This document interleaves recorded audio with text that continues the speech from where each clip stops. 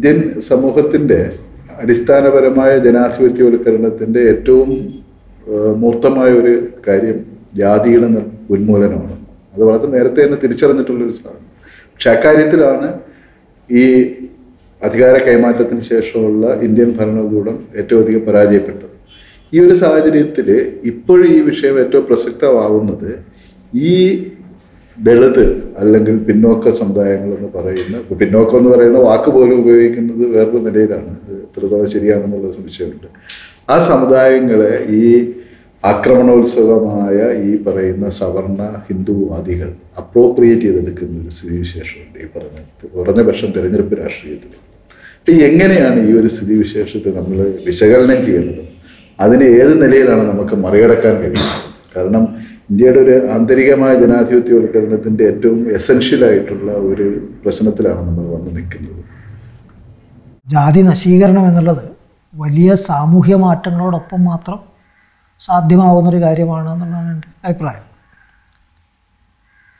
അതിനോട് അനുബന്ധമായിട്ട് അതിന്റെ ഭാഗമായിട്ട് ഒക്കെ നടക്കുന്നൊരു കാര്യമാണ്. മിശ്രവാഹം ഉൾപ്പെടെയുള്ള കാര്യങ്ങൾ ജാതിയുടെ കെട്ടുറപ്പിനെ ദുർബലപ്പെടുത്താനായിട്ട് സഹായിക്കും.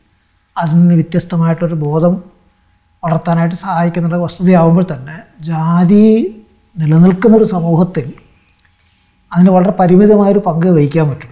ഒന്ന്. രണ്ടാമത് പലപ്പോഴും അത്തരത്തിലുള്ള മിശ്രവിവാഹങ്ങളിലൂടെ കടന്നു വരുന്ന ആൾക്കാർ തന്നെ അവസാനം അവരുടെ കുട്ടികളെ കൊണ്ട് ഏതെങ്കിലും ജാതിയുടെ പേരിൽ ചേർക്കുന്ന അവസ്ഥയൊക്കെ നമുക്ക് കാണാൻ കഴിയും. പലപ്പോഴും സംവരണത്തിന് ആനുകൂല്യം കിട്ടത്തക്ക രീതിയിൽ അത് ചെയ്യാനും നോക്കുക വരും വീണ്ടും ആ ജാതിയുടെ വട്ടത്തിൽ കിടന്ന് കറങ്ങുന്നൊരവസ്ഥയാണ്.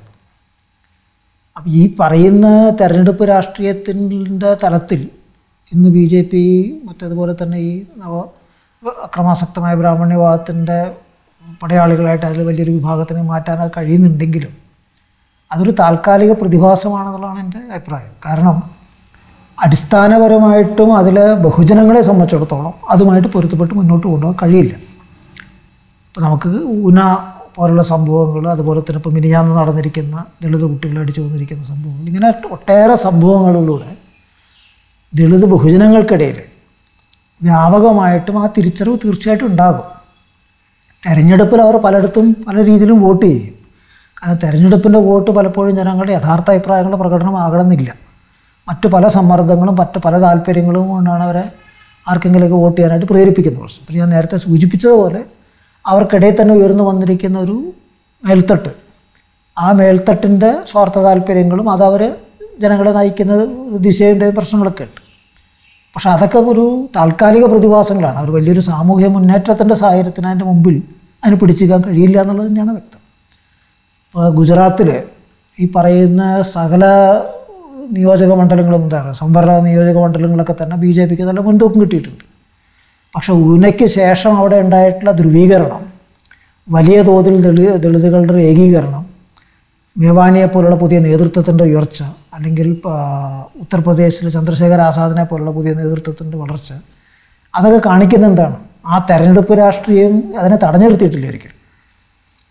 താൽക്കാലികമായിട്ട് ബി ജെ പിക്ക് അതിന്റെ നേട്ടങ്ങളൊക്കെ ഉണ്ടായി എന്ന് വരുമ്പോൾ തന്നെ ഈ ധ്രുവീകരണത്തിന് അത് തടയാൻ കഴിയട്ടില്ല കാരണം അടിസ്ഥാനപരമായിട്ട് അക്രമാസക്തമായ ബ്രാഹ്മണ്യവാദം അങ്ങേയറ്റം വിഭജനാത്മകമായിട്ടുള്ളൊരു ആശയശാസ്ത്രമാണ്. അതിന് ഒരിക്കലും ഈ പറയുന്ന ഹൈന്ദവ ഐക്യം സാധ്യമാക്കാൻ കഴിയില്ല. എത്ര തന്നെ അത് അതിനെക്കുറിച്ച് പ്രസംഗിച്ചാലും ശരി ആത്യന്തികമായിട്ട് അതിലെ ജാതീയമായിട്ടുള്ള ജാ സവർണയിൽ തന്നെ മുന്തിയ ജാതികളെന്ന് അഹങ്കരിക്കുന്ന അവരുടെ പ്രാബല്യത്തിനെ കൊണ്ടുവന്നേ പറ്റൂ ഒരു ഉദാഹരണം കാണാൻ കഴിയുന്നപ്പോൾ ലോക്സഭാ സ്പീക്കർ കുറച്ച് ആർ എസ് എസ്സുകാരനാണ്. അപ്പോൾ ആർ എസ് എസിന്റെ ഇന്നത്തെ നയം എന്താണെന്ന് അയാൾക്ക് നല്ലോണം അറിയാം. എന്നിട്ടും അയാൾ എന്താണ് പറയുന്നത്? ബ്രാഹ്മണർക്ക് മാത്രമേ ഭരിക്കാൻ അധികാരമുള്ളൂ അല്ലെങ്കിൽ അവർക്ക് ശേഷിയുള്ളൂ. ഒരു വശത്ത് ഇവിടെ ഹിന്ദു ഐക്യത്തെക്കുറിച്ച് പ്രസംഗിക്കുക മനസ്സിലായില്ലേ? എല്ലാവരും ഹിന്ദുക്കൾ എന്നുണ്ടെങ്കിൽ ഒറ്റക്കെട്ടാകണമെന്ന് മറ്റും പ്രസംഗിക്കുക ജാതി വിരുദ്ധമായിട്ടുള്ള നിലപാടുകൾ എടുക്കുക എല്ലാ സവർണരും ദളിതരുടെ വീട്ടിൽ പോയി ഭക്ഷണം കഴിക്കണം തിരിച്ച് അവരെ ഇങ്ങോട്ട് ക്ഷണിക്കണം എന്നൊക്കെ പറഞ്ഞിട്ട് മോഹൻ ഭാഗവത് പ്രസംഗിച്ച് നടക്കുക. അതിന്റെ ഇടയിലാണ് ഒരു ഉന്നതനായിട്ടൊരു ആർ എസ് എസ്സുകാരൻ ഈ പറയുന്നു അത് ഉള്ളിൽ നിന്ന് വരുന്നൊരു സാധനമാണ്. അയാൾ എത്ര തന്നെ ആർ എസ് എസ് പരിശീലനം കിട്ടിയാലും ശരി എത്ര തന്നെ മോഹൻ ഭാഗവത്ത് തൽക്കാലം നമുക്ക് ഇതൊന്നും പറയാൻ പാടില്ല പുറത്ത്. നമ്മുടെ മനസ്സിൽ വച്ചാൽ മതി എന്ന് ഉപദേശിച്ചു കൊടുത്താലും ശരി. അത് ഉള്ളിന്റെ ഉള്ളിൽ നിന്ന് വന്നേ പറ്റൂ. കാരണം അക്രമാസക്തമായ ബ്രാഹ്മണ്യവാദത്തിന് നിങ്ങൾ ഒരിക്കലും ഇടം കൊടുത്തു കഴിഞ്ഞാൽ പിന്നെ അതിനൊരു ഇതില്ല. ഇന്ന് ഇവിടം വരെ പോകാവുന്നൊന്നുമില്ല. അതിന്റെ പൂർണ രൂപത്തിൽ പുറത്ത് വന്നേ പറ്റുള്ളൂ. അതുകൊണ്ട് തന്നെ ആ വിഭജനാത്മകമായ സ്വഭാവം ഉള്ളത് കൊണ്ട് തന്നെ ധ്രുവീകരണം ഉണ്ടാക്കും. അടിസ്ഥാന വിഭാഗങ്ങളിൽ ജനങ്ങളെ സംബന്ധിച്ചിടത്തോളം അവർ അവരുടെ ആവശ്യങ്ങളായിട്ട് ബന്ധപ്പെട്ടുകൊണ്ട് തീർച്ചയായിട്ടും പ്രക്ഷോഭത്തിന്റെ മാർഗത്തിൽ വരികയും ചെയ്യും. ഇവിടെ ഇതോട് ബന്ധപ്പെടുത്തി വരുന്ന മറ്റൊരു സംശയം എന്ന് പറയുന്നത് നമ്മുടെ ഞാൻ നേരത്തെ വീണ്ടും വീണ്ടും സൂചിപ്പിക്കുന്ന നമ്മുടെ കഴിഞ്ഞ എഴുപത് വർഷത്തെ അനുഭവം കാണിക്കുന്നത് നമ്മുടെ ഇപ്പം നമ്മൾ പറയുന്ന സോക്കാളുടെ ലിബറൽ ലെഫ്റ്റ് എന്ന് പറയുന്ന അല്ലെങ്കിൽ നമ്മൾ പറയുന്ന നമ്മുടെ പാർലമെന്റിൽ പറയുന്ന കോൺഗ്രസ് ആയാലും ശരി നമ്മുടെ പാർലമെന്റിലെ ഇടതുപക്ഷമായാലും ശരി ഇവർക്ക് ഫലപ്രദമായിട്ട് ഇതിനൊരു കൗണ്ടർ ഉണ്ടാക്കാനായിട്ട് ഒരിക്കലും കഴിഞ്ഞിട്ടില്ല എന്നുള്ള ഒരു അതൊരു യാഥാർത്ഥ്യം യാഥാർത്ഥ്യം കൂടിയാണ്. അല്ലെങ്കിൽ അവർക്ക് കൗണ്ടർ ഉണ്ടാക്കാൻ കഴിഞ്ഞിട്ടില്ല എന്ന് മാത്രമല്ല അവരെ ഇതിനെ വേറെ ഏതൊക്കെയോ നിലകളിൽ നിലനിർത്തുകയോ സഹായിച്ചതിന്റെയോ ഫലമായിട്ടാണ് ഈ ഹിന്ദുത്വ അല്ലെങ്കിൽ രാഷ്ട്രീയം വന്നതെന്നു കൂടെയുള്ളൊരു അഭിപ്രായം എനിക്കുണ്ട്. അപ്പൊ അതിന് ഈ സാഹചര്യത്തിൽ നമുക്ക് ഏത് നിലയിലാണ് ഈ ഒരു സാധനത്തിനെ നേരിടാൻ പറ്റില്ല. ഏത് നിലയിലാണ് നമുക്ക് ഇതിനുള്ള രാഷ്ട്രീയമായിട്ടും അല്ലെങ്കിൽ രാഷ്ട്രീയമായിട്ടും കാരണം ഇതൊരു മൾട്ടി ഡയമെൻഷണലായിട്ടുള്ള ഒരു ഒരു ഒരു സമരത്തിന്റെ ഭാഗമാണ്. രാഷ്ട്രീയം അധികാരത്തിന്റെ പ്രശ്നമുണ്ട് സാംസ്കാരികമായതുണ്ട് സാമ്പത്തികമായതുണ്ട് സാമ്പത്തികമായിട്ടുണ്ട് അപ്പോൾ അതൊരു ഒരു ഒരു വളരെ ഇതായിട്ടുള്ള ഒരു സംഭവമായിട്ട് അതിന് ഏത് നിലയിൽ നമുക്ക് മുന്നോട്ട് കൊണ്ടുപോകാൻ പറ്റും? ഒന്നാമത് പാർലമെന്ററി രാഷ്ട്രീയത്തിലൂടെ അതിനെ നേരിടാൻ കഴിയില്ല. കാരണം പാർലമെന്ററി രാഷ്ട്രീയം പ്രതിനിധീകരിക്കുന്നത് ഭരണവർഗ രാഷ്ട്രീയത്തെയാണ്.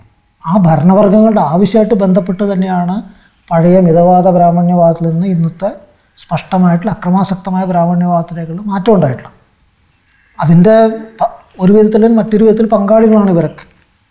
ഇടതായാലും കൊള്ളാം ഈ പറയുന്ന പാർലമെന്ററി ഇടതായാലും കൊള്ളാം കോൺഗ്രസിനെ പോലുള്ള കക്ഷികളായാലും എല്ലാം ശരി. ഇപ്പോൾ ഉദാഹരണത്തിന് നിങ്ങൾ ബംഗാളിന്റെ കാര്യം നോക്കുക. കൂട്ടത്തോടെ സി പി എം വോട്ടുകൾ ബി ജെ പിക്ക് പോയി. പ്രതിഭാസോടെ നമ്മൾ കാണുന്നുണ്ട്. അത് തൃണമൂൽ കോൺഗ്രസിനെ ഭയന്നിട്ടാണ് അവരെ ചെറുക്കാൻ വേണ്ടിയിട്ടാണെന്ന് പറഞ്ഞാൽ ശുദ്ധ അസംബന്ധമാണ്. അതല്ല യാഥാർത്ഥ്യം.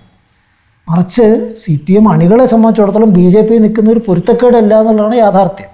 കാരണം അവരുടെ സംസ്കാരം അവരുടെ സാമൂഹികമായിട്ടുള്ള ചുറ്റുവട്ടങ്ങളിൽ അതും ബി ജെ പിയിൽ അണിനിരന്നിരിക്കുന്ന ആൾക്കാർ തമ്മിൽ വ്യത്യാസമില്ല ഇന്നിപ്പോൾ രാമനവമിയുടെ ഭാഗമായിട്ട് ബംഗാളിലില്ലാത്ത ഒരു കാലത്ത് ഉണ്ടാകാതിരുന്ന ഒരു രാമനവമി വലിയ കാര്യത്തിൽ ആർ എസ് എസ് കൊണ്ടാടുന്നുണ്ട് അവിടെ. അതിനെ ഇവർ ചെറുക്കുന്നുണ്ട്. ബംഗാളി സംസ്കാരത്തിന് യോജിച്ചല്ല എന്നൊക്കെ പറഞ്ഞിട്ട് എതിർക്കാനായിട്ട് മമതയും കൂട്ടരൊക്കെ ശ്രമിക്കുന്നുണ്ട്. ആയുധങ്ങൾ എടുത്തിട്ടുള്ള പ്രകടനത്തിനൊക്കെ എതിർക്കുന്നുണ്ട്. പക്ഷെ വർഷങ്ങളായിട്ട് ദുർഗാപൂജ ആചരിക്കുക എന്നുള്ളത് അതിന് വലിയ വലിയ പന്തലുകൾ കെട്ടിപ്പൊക്കുക എന്നുള്ളത് ഈ പറയുന്ന പാർലമെന്ററി ഇടതിന്റെ ഒരു സ്ഥിരം രാഷ്ട്രീയ പ്രവർത്തനത്തിന്റെ ഒരു ഭാഗമായിരുന്നു. സാംസ്കാരിക പ്രവർത്തനത്തിന്റെ ഒരു ഭാഗമായിരുന്നത്. ഒരിക്കലെങ്കിലും അതിൽ നിന്ന് വ്യത്യസ്തമായിട്ടുള്ള ഒന്ന് ചിത്രീ മുന്നോട്ട് കൊണ്ടുവരാനായിട്ട് ഒരു ബദൽ ആശയം കൊണ്ടുവരാനായിട്ട്. അങ്ങനെ ഒരു പാരമ്പര്യമുണ്ട് ബംഗാളിൽ. ഇല്ലാത്തതല്ല. ആ പാരമ്പര്യത്തെ ഉയർത്തിപ്പിടിച്ചുകൊണ്ട് ഇതിനെ ചോദ്യം ചെയ്യാനായിട്ട് മറ്റൊരു തരത്തിലൊരു മതേതര ബോധം ജനങ്ങൾക്കിടയിൽ സൃഷ്ടിക്കാനായിട്ട് ഒരിക്കലും പാർലമെന്ററി അടുത്ത് ശ്രമിച്ചിട്ടില്ല. കാരണം അവർ തെരഞ്ഞെടുപ്പ് രാഷ്ട്രീയമാണ്. വോട്ടാണ് അവർക്ക് പ്രധാനം. അപ്പോൾ അതുകൊണ്ട് ഏത് ജാതി അങ്ങനെ വോട്ട് ചെയ്യും ഏത് മതവിഭാഗം ഇവിടെ വരും എന്നുള്ളതാണ് അവർ കണക്കൂട്ടുന്നത് അപ്പോൾ അതുകൊണ്ട് അവിടെ നിന്നൊരു ചെറുത്തുനിൽപ്പ് പ്രതീക്ഷിക്കാൻ കഴിയില്ല എന്നുള്ള എന്റെ അഭിപ്രായം. ചില എന്താ പറയുക ബില്ലുകളൊക്കെ വരുന്ന സമയത്ത് എതിർ വോട്ടുകൾ മറ്റു കുറച്ചും കാര്യങ്ങളൊക്കെ ഉണ്ടാവുമെന്നുള്ളതല്ല സൗകര്യപൂർവം ആത്യന്തികമായിട്ട് ഇതൊക്കെ അനുവദിച്ചു കൊടുക്കുന്നൊരവസ്ഥ തന്നെ ഉണ്ടാവും മറിച്ച് നമ്മൾ പ്രധാനമായിട്ട് നോക്കേണ്ടത് ബഹുജനങ്ങളുടെ ഭാഗത്തു നിന്നുണ്ടാവുന്ന പുതിയ പുതിയ മുന്നേറ്റങ്ങളുണ്ട്. അതുണ്ടാവുന്നുണ്ട് അവിടെ. നേരത്തെ സൂചിപ്പിച്ച ഊനയായിട്ട് ബന്ധപ്പെട്ടിട്ടുണ്ടായിട്ടുള്ള ധ്രുവീകരണം യു പിയിലുണ്ടായിട്ടുള്ള വികാസം മഹാരാഷ്ട്രയിൽ മറ്റേ എൽഗാർ പരിഷത്തായിട്ട് ബന്ധപ്പെട്ട് പത്തിരുന്നൂറോളം സംഘടനകൾ ഒന്നിച്ച് ചേർന്ന പ്രതിഭാസം അങ്ങനെ പല പല പ്രദേശങ്ങളിലും പലതരത്തിലുള്ള പുതിയ ഉണർവുകൾ അടിത്തട്ടിൽ നിന്ന് ഉയർന്നു വരുന്നുണ്ട്. ഇവിടുത്തെ പരിസ്ഥിതി പ്രശ്നങ്ങളായിട്ട് ബന്ധപ്പെട്ടിട്ടുണ്ടാകുന്ന പുതിയ മുന്നേറ്റങ്ങൾ. അപ്പോൾ ഇത്തരം പ്രക്ഷോഭങ്ങളിലൂടെ അതാണ് ഒരു ജനകീയ തലത്തിൽ വിപുലമായ ഒരു ജനകീയ തലത്തിൽ ഇതിനെതിരെയുള്ള ഒരു ചെറുത്തുനിൽപ്പിന്റെ പുതിയൊരു ബോധം സൃഷ്ടിച്ചെടുക്കാൻ പോകുന്നത്. ഒരു വശത്ത്. മറുവശത്ത് നിർണായകമായിട്ട് പ്രശ്നം ഭരണകൂടം തന്നെയാണ്. ആ ഭരണകൂടത്തെ നേരിടുന്ന ശക്തികൾ സായുധമായിട്ട് ആ ഭരണകൂടത്തിനെ തകർക്കാനും പുതിയൊരു ഭരണം പുതിയൊരു അധികാരം സ്ഥാപിക്കാനായിട്ട് പോരാടുന്ന ശക്തികൾ അവർ തന്നെയാണ് അടിസ്ഥാനപരമായിട്ട് ഇതിനെ നേരിടാൻ പോകുന്ന ദീർഘകാല അടിസ്ഥാനത്തിൽ നോക്കുകയാണെങ്കിൽ ഫലപ്രദമായിട്ട് ഇതിനെ ഇല്ലാതാക്കാൻ പോകുന്ന ശക്തി അത് മാത്രമാണ്. അപ്പൊ അത്തരത്തിലുള്ള ഒരു രാഷ്ട്രീയത്തിന്റെ ഇന്നത്തെ ഒരു അവസ്ഥ എന്ന് പറയുന്നത് വളരെ ഒരു വളരെ ചുരുക്കിയ ഒരു മണ്ഡലത്തിലാണ് അത് നിൽക്കുന്നത്.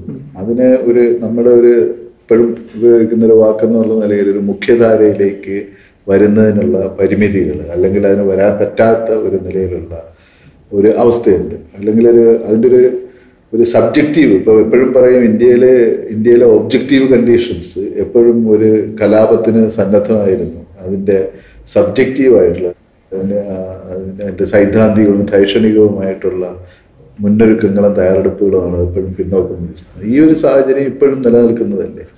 അതുണ്ട്. പക്ഷെ അതേസമയം തന്നെ അതിനെ മറികടന്നിട്ടുള്ള മുന്നേറ്റങ്ങളും ഉണ്ടാകുന്നുണ്ട്. തർക്കമില്ലാത്തൊരു കാര്യമാണത്. അത് എന്താ പറയുക ആ പ്രദേശത്ത് നിന്ന് വരുന്ന റിപ്പോർട്ടുകൾ നമ്മൾ പത്രങ്ങളിൽ വരുന്ന റിപ്പോർട്ടുകൾ തന്നെ നമുക്ക് കാണാൻ കഴിയുന്നത്. അത്തരത്തിലെ മുന്നേറ്റങ്ങൾ ഉണ്ടാകുന്ന പ്രാദേശിക തലത്തിൽ ഉണ്ടാകുന്ന പ്രശ്നങ്ങളൊക്കെ പിന്നെ അതിലുപരിയായിട്ട് അത് ചെലുത്തുന്ന മറ്റൊരു സ്വാധീനമുണ്ട്. ഒരു ചെറുത്തുനിൽപ്പിന്റെ ഒരു പ്രതീകം എന്നുള്ള നിലയ്ക്ക് ഭരണകൂടത്തിനെ നേരിടുന്ന ശക്തികളുടെ ഒരു പ്രതീകം എന്നുള്ള നിലയ്ക്ക് ജനങ്ങൾക്ക് വേണ്ടി നിസ്വാർത്ഥമായിട്ടുള്ള ആത്മാർത്ഥമായിട്ട് ജനങ്ങളെ സേവിക്കുന്ന അതിന്റെ ഒരു മാതൃക എന്നുള്ള എനിക്ക് പല രീതിയിലും അത് വേറെ തലത്തിലും സ്വാധീനം ചെലുത്തുന്നുമുണ്ട് അതെനിക്ക് തോന്നുന്നത് ഈ പറഞ്ഞ പുതിയ പ്രക്ഷോഭങ്ങളിലും ഇതിലൊക്കെ തന്നെ അതിന്റെ ഒരു വിധത്തിൽ അല്ലെങ്കിൽ മറ്റൊരു രീതിയിൽ അതിന്റെ മെന്നാട്ടങ്ങൾ കാണാനും കഴിയും. പക്ഷേ നമ്മൾ വേറൊരു കാര്യം ഓർക്കേണ്ടതുണ്ട് ഇതൊരു പുതിയ പ്രതിഭാസമല്ല. ഇത്തരത്തിൽ ഇത്തരം ശക്തികൾ ഒരു മുഖ്യധാരയിൽ നിന്ന് വേറിട്ട് നിൽക്കുന്ന അല്ലെങ്കിൽ ഒരു ഒറ്റപ്പെട്ട ശക്തികളായിട്ട് നിൽക്കുന്ന അവസ്ഥ നമ്മുടെ മാത്രമല്ല മിക്കവാറും എല്ലാ രാജ്യങ്ങളിലും വലിയ വലിയ നീണ്ട കാലത്തേക്ക് അങ്ങനെ തന്നെയായിരുന്നു. മനസ്സിലായില്ലേ? ചില നിശ്ചിതമായിട്ടുള്ള സമൂർത്തമായ ചരിത്ര സാഹചര്യങ്ങൾ ഒത്തുവരികയും പ്രതിസന്ധി ഒരു പുതിയ തലത്തിലേക്ക് എത്തുകയൊക്കെ ചെയ്യുമ്പോൾ മാത്രമാണ് അതൊരു വലിയൊരു മുഖ്യധാരാ ശക്തിയായിട്ട് മാറുകയും ചെയ്യുന്നത്. അപ്പോൾ അതിപ്പോൾ ഉടനെ അങ്ങനെ ഒരു രാജ്യവ്യാപകമായ ഒരു ശക്തി സാന്നിധ്യം ആയിട്ടില്ല എന്ന് പറഞ്ഞിട്ട് അതുകൊണ്ട് വലിയ പ്രശ്നമില്ല എന്ന് എനിക്ക് തോന്നുന്നു ചരിത്രത്തിൽ നമ്മൾ നോക്കുമ്പോൾ അത് അങ്ങനെയൊക്കെ തന്നെയാണ് മിക്ക രാജ്യങ്ങളിലും ഉണ്ടായിട്ടുള്ളത്. വിഷയം എന്താ വെച്ചാൽ അതിന്റെ ഒരു സ്ഥിരതയുണ്ടോ? ആ സ്ഥിരതയാണ് നമുക്കത് കാണാൻ കഴിയുക. നക്സൽവാരിയും ഉയർന്നു വന്ന വിപ്ലവ പ്രസ്ഥാനത്തിന്റെ സവിശേഷത അതാണ്. അത് എത്ര തന്നെ തിരിച്ചടികൾ ഉണ്ടായിട്ടുണ്ടെങ്കിലും എത്ര തന്നെ നഷ്ടങ്ങൾ ഉണ്ടായിട്ടുണ്ടെങ്കിലും അതിനെ പിടിച്ചു നിൽക്കാനുള്ള ശേഷി അത് പ്രകടിപ്പിച്ചിട്ടുണ്ട്. പിടിച്ചു നിൽക്കുക മാത്രമല്ല അതിനെ അതിജീവിച്ചുകൊണ്ട് പുതിയ വികാസങ്ങൾ ഉണ്ടായിട്ടുണ്ട്. തീർച്ചയായിട്ടും ഇന്ത്യൻ ഭരണകൂടം ചെറിയൊരു ശക്തിയല്ല. അതിന്റെ അതിഗംഭീരമായിട്ടുള്ള വലിയ സായുധ സന്നാഹങ്ങളും മറ്റു കാര്യങ്ങളൊക്കെ ഉണ്ട്. അതിന് മറ്റുള്ള തരത്തിലുള്ള ഒരു കൂട്ടങ്ങൾ കൂടാതെ തന്നെ. അപ്പോൾ അതുകൊണ്ട് തന്നെ അത്തരം ഒരു ശക്തിയെ നേരിടാനായിട്ട് പത്തോ മൂവായിരമോ വരുന്നൊരു ചെറിയ ശക്തിക്ക് കഴിയുക എന്നുള്ളൊരു എളുപ്പമുള്ളൊരു കാര്യമല്ല. പക്ഷെ ആ ചെറിയ ശക്തി വർഷങ്ങളായിട്ട് ഇതിനെ നേരിട്ടുകൊണ്ട് പിടിച്ചു നിൽക്കുന്നു എന്നുള്ളൊരു യാഥാർത്ഥ്യം. അത് ജനങ്ങളുടെ പിന്തുണയില്ലാതെ കഴിയാത്തൊരു കാര്യമാണ്. വെറും ഒരു ആയുധബലം കൊണ്ട് മാത്രം ഒരിക്കലും സാധ്യമാകുന്നൊരു കാര്യമല്ല. അതിൽ കുറേ കാടുണ്ട് ഒളിച്ചിരിക്കാൻ കഴിയുന്നതുകൊണ്ട് മാത്രം കഴിയുന്നൊരു കാര്യമല്ല.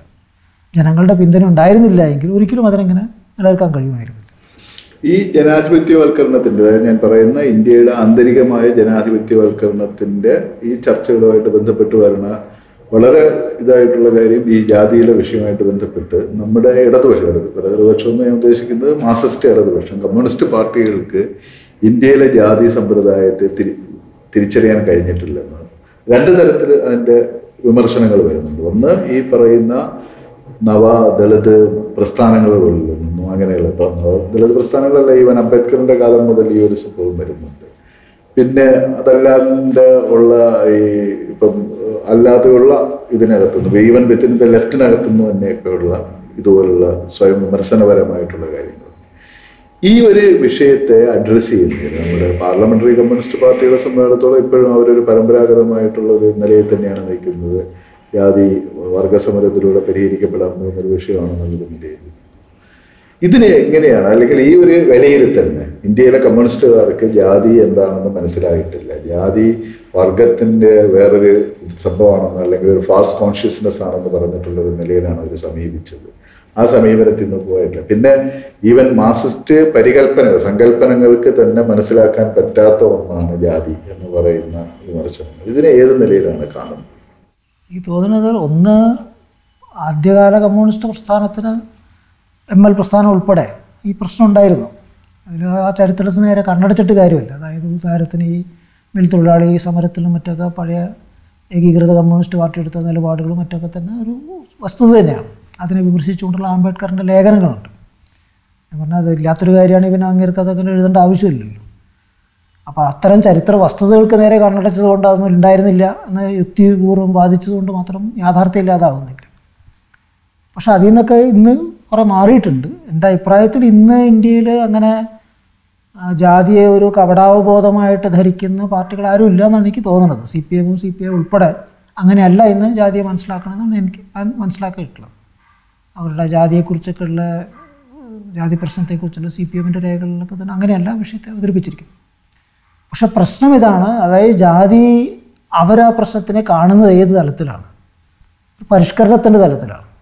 ഈ നിലനിൽക്കുന്ന വ്യവസ്ഥയ്ക്കകത്ത് തന്നെ ഭരണഘടനാപരമായ നിലപാടുകളിലൂടെ കൈകാര്യം ചെയ്ത് തീർക്കാവുന്ന കൈകാര്യം ചെയ്ത് ഇല്ലാതാക്കാവുന്നൊരു പ്രശ്നം എന്ന നിലയ്ക്കാണ് പ്രധാനമായിട്ട് സമീപിക്കുന്നത്.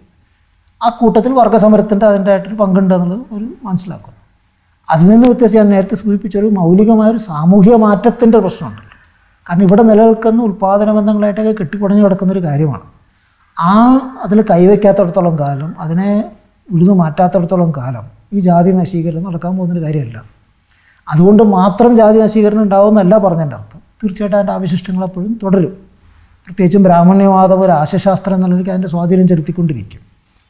അപ്പോൾ അത് അഭിമുഖീകരിക്കണമെങ്കിൽ സവിശേഷമായിട്ടുള്ള സമര രീതികളും സമരരൂപങ്ങളും സ്വീകരിക്കേണ്ടതുണ്ട്. അത്തരത്തിലുള്ള ചില മുൻകൈകൾ ഇവിടുത്തെ വിപ്ലവ പ്രസ്ഥാനത്തിന്റെ ഭാഗത്ത് കഴിഞ്ഞ കുറച്ച് കൊല്ലങ്ങൾക്കിടയിൽ ഉണ്ടായിട്ടുണ്ട്. പക്ഷേ അവർ അഭിമുഖീകരിക്കുന്നൊരു പ്രധാന പ്രശ്നം ബഹുജന പ്രവർത്തനത്തിന് അവർക്കുള്ള സ്വാതന്ത്ര്യമില്ല എന്നുള്ള യാഥാർത്ഥ്യമുണ്ട്. അപ്പോൾ അതുകൊണ്ട് തന്നെ അവർ ചെയ്യുന്ന അത്തരം പ്രവർത്തനങ്ങൾ അവരുടേതായ പ്രവർത്തനങ്ങളായിട്ട് അവകാശപ്പെടാനായിട്ടോ അതല്ലെങ്കിൽ അത്തരത്തിൽ അതിന് പ്രചാരണം കൊടുക്കാനായിട്ട് അവർ കഴിയുന്നില്ല. പക്ഷേ യഥാർത്ഥത്തിൽ അവരുടെ അത്തരത്തിലുള്ള പല പ്രവർത്തനങ്ങൾ നടക്കുന്നുണ്ട് എന്നുള്ളതാണ് ഞാൻ മനസ്സിലാക്കിയിട്ടുള്ളത്. അപ്പോൾ ഇതിൽ ഈ ഈ മാർക്സിസം ഒരു അതിന്റെ ഒരു അന്തസത്തയിൽ നിന്ന് തന്നെ ഈ ഒരു വിഷയത്തെ ഉൾക്കൊള്ളാൻ പറ്റുന്നതല്ല എന്ന് പറയുന്ന വിമർശനത്തിലുണ്ടല്ലോ അതിനെ ഏത് നിലയിലാണ് എനിക്ക് തോന്നുന്നില്ല. അതൊരു ഉദാഹരണത്തിന് മാർക്സിസം വർഗത്തിനാണ് ഊന്നിയിട്ടുള്ളത്. ശരി തന്നെ. പക്ഷെ അതേസമയം തന്നെ ഉദാഹരണത്തിന് മാർക്സിന്റെ നിരീക്ഷണം വ്യക്തിസത്ത എന്ന് പറയുന്നത് സാമൂഹ്യ ബന്ധങ്ങളുടെ ഒരു സമുച്ചയമാണ്. എന്താണ് ഈ സാമൂഹ്യ ബന്ധങ്ങൾ? ഒരു വ്യക്തി ഏർപ്പെടുന്ന സാമൂഹിക ബന്ധങ്ങൾ അല്ലെങ്കിൽ അകപ്പെട്ടിരിക്കുന്ന സാമൂഹിക ബന്ധങ്ങൾ ഒരു വർഗത്തിന്റെ മാത്രമല്ല. അപ്പോൾ വർഗം വർഗ യാഥാർത്ഥ്യം എങ്ങനെയാണ് വ്യക്തിയെ വിഭജിക്കുന്നത് എന്ന് മാർക്സ് തന്നെ നിരീക്ഷിക്കുന്നുണ്ട്. സ്വകാര്യ വ്യക്തിയും വർഗ വ്യക്തിയും എന്നുള്ളൊരു വേർതിരിവുണ്ടാകുന്ന പ്രശ്നങ്ങളെക്കുറിച്ചൊക്കെ മാർക്സ് തന്നെ നിരീക്ഷിക്കുന്നുണ്ട്. അപ്പോൾ ആ വിശകലനത്തിനെ കൂടുതൽ മുന്നോട്ട് കൊണ്ടുപോകേണ്ട ഒരു ഉത്തരവാദിത്വം നമുക്കുണ്ട്. മനസ്സിലായില്ലേ? ഇവൻ അതൊരു മാർക്സിസത്തിന് അപ്പുറം നിൽക്കുന്നൊരു കാര്യമല്ല. അത് അതിന് ഉൾക്കൊള്ളാൻ കഴിയാത്തൊരു കാര്യമല്ല.